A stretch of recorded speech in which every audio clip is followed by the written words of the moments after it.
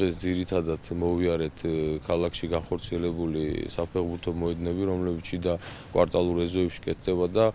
მე მინდა გითხრათ, რომ ამასთან დაკავშირებით გაყოფილებას ნამდვილად ვერ გამოვხატავ, იმიტომ რომ არის არსებული პრობლემები, არის რაღაც გარკვეულ ხარისხთანაც სამუშაო პირობებთან და ეს ტრადიციულად ყადაღებული ვადებში დაუსრულებელი სამუშაოები. და ამ კუთხით ალბათ უფრო მეტი დასახვეწი იქნება, გადასაწყვეტი იქნება ის საკითხები, რომლებიც ხელს უშლის და ის მოლოდინის მოსახლეობისა, ბავშვებისა აღმოფხრი